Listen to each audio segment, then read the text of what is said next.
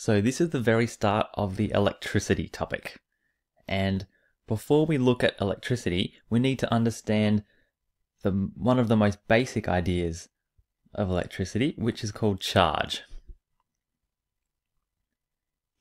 And before we look at charge, we're going to look at magnets just quickly.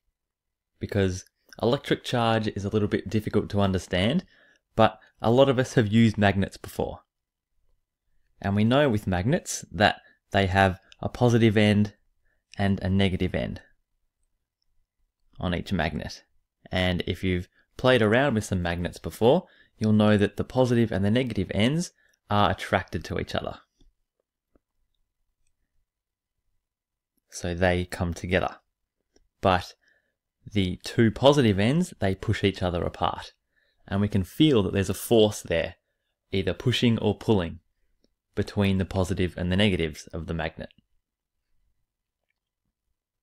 And it's exactly the same with charge. So electric charge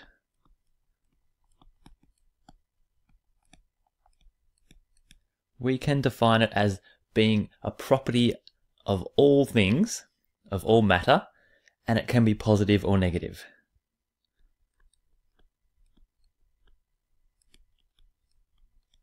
So a property of matter